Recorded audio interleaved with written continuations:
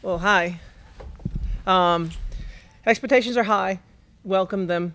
You know, um, had an interview today on the phone just a little bit ago, and um, they were talking about, you know, the uh, the assumption that we make the tournament and the assumption, you know, are you going to get to the second weekend? And I said, what an awesome assumption, you know, and, and I'm happy that that's assumed about us now.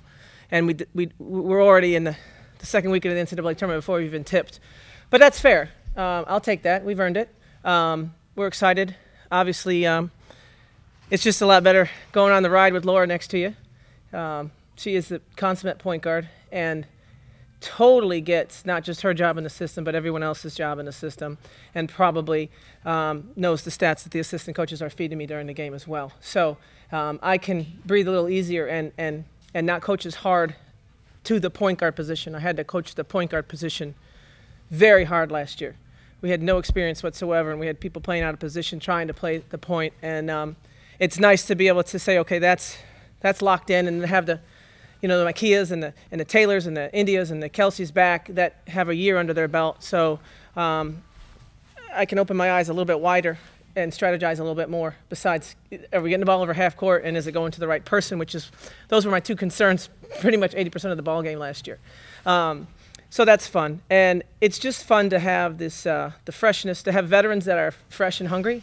Um, Usually your veterans are like, okay, whatever. But we have some veterans that were on the bench last year, injured in sweatsuits and or sitting out their transfer year, but they're veterans. Um, but they're bringing a, a freshman-like excitement and enthusiasm and, and um, type of what if and what's going to happen next kind of mentality that is fun as a coach. So um, I feel good about where we're at right now, and uh, we got a lot of work to do though. Um, sometimes complacency has, has crept up, as it did yesterday. So we got up a little earlier this morning to uh, make up for that. But other than that, I've been really pleased. Questions for Coach or Laura? Laura, you guys get to talk about it first, um, just being able to, to get back, what, what does it mean to you that first practice, when you're finally able to go, you know that this whole season is ahead of you, what, what did that mean for you? You know, it means a lot to be back out here. You know, just you know, just competing. Um, that's I, I think that's that aspect is, is what I miss most. You know, from sitting out last year. You know, being able to compete and you know go to work every day. Um, it's been so much fun to play um, with my teammates, and I learned a lot of uh, a lot about them last year. Um, and so far, it's just it's really it's been great. Um, I just love to like wake up and you know do what I love most again, and I really am grateful for my health right now.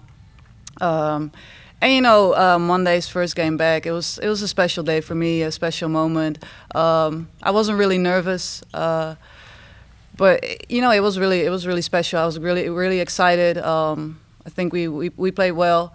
Um, you know, I got to got to score again. I got to pass again. It, it, run through the smoke again. It was this time in a jersey. You know, not in a sweatsuit. So it was. Um, no, it was, I felt pretty good. Michelle. Thank you. what did you learn about your team and just what did you learn about in general sitting for a whole year what can you tell us that How are you different coming back than you were before that year off? Well, I think you just you see the game from a different perspective. Um, you see what, what, what coach sees, um, and I, you know, got to learn about you know my teammates' strengths, their weaknesses, um, especially you know how to deal with adversity, how how to react um, with like within a game, calls made by referees, um, uh, bad plays or whatsoever, um, and that's that's what my job really was last year is to, to really lead them um, from the sideline, and um, I think I, like, I build a really good connection with all of them, and like I'm very well, well respected right now. Uh, I think I've earned that. Um, but you know, viewing the game from the sideline, it just you just it's from a, it's from a different perspective, and I learned so much, you know, about our plays and about my teammates that I feel like it's really beneficial for me this year.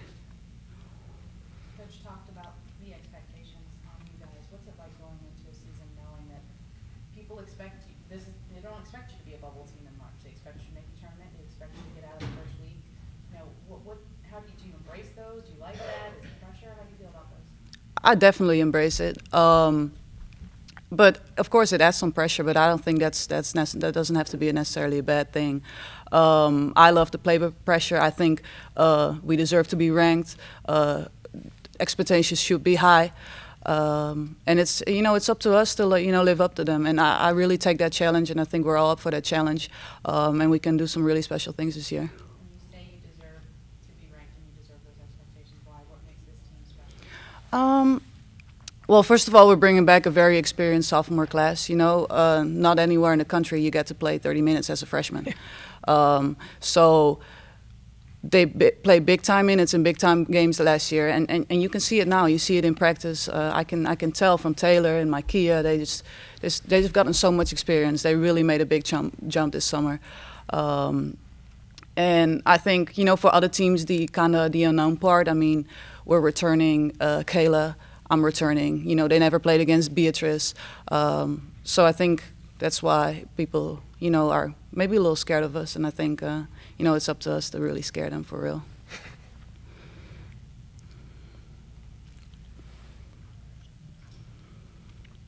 Anything else for Coach? Katie, can you talk about some of the newcomers and what to expect from Yeah. people we haven't seen play yet? Yeah, so it's weird because we, we have only one true freshman, Jameer Houston, who is, you're going to love her. Um, wow. She flies all over the court. Um, you know, it's very difficult for her to be in the position with this team that's veteran. Um, we're already 10 practices ahead of we were last year. She doesn't have anyone to go, what is she talking about? Like all of her language, all of her, even the, like Rebecca Ripley, it's her first year playing because she was hurt last year, but she heard all the language. Beatrice was here all year. Um, we have a, a transfer from uh, West Virginia, Destiny Harden, who's learning it. And I, I'm really happy we have Destiny, but I'm happy we have Destiny for Jameer because she's got someone that they can go after practice, go, what is umbrella? What is kickback? Like, th- the language is just really different. Um, but she's special. She's going to remind you a little bit of a Morgan Strum with a little bit more upper body strength and lower body strength. So she's pretty good. Um, so, and then having Rebecca Ripley back is nice because it's very rare to have a, a, a guard with size that can shoot, but then on the defensive end we'll put a body on someone. I think that's one thing. Uh, th- how physical we play will determine a lot of our success this year. And she brings tremendous physicality, and she better. Um, that's going to be her opportunity for us, um, and that's really important. And then with Beatrice, um, most of you have seen her grow up. Um, she is as special as advertised. Um, you know, she, she has a different level when it's, if it's just a drill, there's one level of competition in her. If the losers run, it's a whole different player. I mean, when it's time to compete, she, she's off the charts competitive in a very quiet way. And if you didn't, if you weren't in practice every day, you wouldn't see it.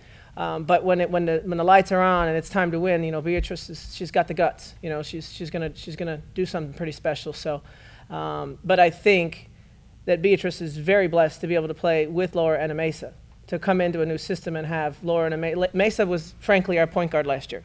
She, she was the point forward. She, she ran the whole system as everyone was trying to learn. Mesa was had the ball at the middle of the court. We ran everything through Mesa, whether we threw it in and she reversed it, but she was calling plays from at six four. And now we have Laura and Mesa, and Beatrice can just kind of not have to think as much, and, and they're thinking the game and, and really facilitating for her. When you have a player like someone who's from this area and everybody watched grow up and Mhm. um, all of her friends, family, people who come watch, Yeah. do players like that sometimes put too much pressure on themselves? How you get? Yeah, I mean, what, she chunked every free throw in the first half She was really nervous. And we didn't. yeah. I mean, you know, we're still getting to know her. She, she but uh, she admitted afterwards she was a little bit nervous, which I didn't even. You know, I said, "Are you excited?" She said, "Yeah." I didn't ask her if she was nervous, but she was, and that was cute. You know, but Beatrice and Kelsey Marshall. Let me tell you, wow. I mean, she is playing out of her mind right now. She has really evolved. Um, very strong. Her, her, you know, defense wasn't a word you said in a sentence with Kelsey last year. Uh, you just wouldn't say Kelsey in defense. You just couldn't do it. She shot well, but but now she's like one of our best defenders and um, really doing a great job of facilitating and putting the ball where it needs to go. And then she's shooting at a really high percentage. So those two local players are going to be a big. You know, they're going to often lead us in scoring. I think, which is great. I, I like to keep them home. I was gonna say, you, we've talked about that in the past, just the importance of continuing to make inroads Yeah. the local programs. Yeah. How much does it help when you have those two and you're going to be able to showcase them the way that? You know what's great too? I mean, our, our practices are open. You know, you can come anytime, and it's it's nice. Um, people are like, you know, I just got a text from Kelsey. My old, uh, you know, mini school, uh, un, whatever, middle school coaches, da da da. Can they come to practice? I'm like, sure, but you know, we always open up our practices, and it's nice because their coaches will come by. Their fam, uh, you know, when their families are coming from out of town and from out of the country, they come in our practice. So I just I like, I, I'm fine. I have a real family feel to this program, but um, it's awful nice that they get that extra level of support. Coach, you talked about how much Laura meets this program and just her sitting out what she kind of picked out. Yeah. But how much does it mean to have her back teamed up with the Mesa, especially Right. like you said, you ran the offense with her last year? Well, first of all, if I ever, you know, write a book or whatever, and there'll be a chapter on the best leadership I ever witnessed in my coaching career, it will be Laura and Kayla last year off the bench injured. I'd never, ever have seen better leadership in my life. I was stunned by it. I was emotional every time I saw them doing it. It's very hard to be that involved and to lead from the bench. You know, uh, captains aren't usually bench players, right? Well, they were never going to play. You know, they weren't going to play, and somehow they were the leaders of that team. Um, that was really unselfish and really uncomfortable at first for them, but eventually it was the rock of why we overachieved last year. Now to have them back on the court is, uh, I'm extra spoiled. I, I missed, I- I, missed their talent last year, but I, I had them, you know, and now I have them and their talent. Considering obviously what Kayla's gone through. Yeah. A little bit of a hiccup now. Yeah. Like, um, you know, how tough is that for her? To have to you know, she's probably chomping at the bit. Yeah, yeah. I said, uh, well, you know, I said, God, she's already resilient. Like she's proven it. You know, why, why we got to show it again? But she is very resilient. And um, you know, this was this was scary, but on the flip side of it, you know, afterwards we feel really good about Kayla. So um, at first we were a little bit nervous and uncertain, but um, now we're feeling really good. It's going to be temporary. Yeah. have a kind of a timeline? We don't. Um, if I gave you a timeline, it would probably be less optimistic than what I feel right now. Yeah. So I, I, I don't want to put a timeline on it because I think we're going to get better than I think, than than they'd say.